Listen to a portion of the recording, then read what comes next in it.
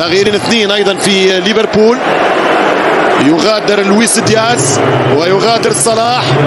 ورسميا الرقم القياسي للكينج مو صلاح كأبرز هداف وأكبر هداف في تاريخ افتتاحيات الدوري الممتاز.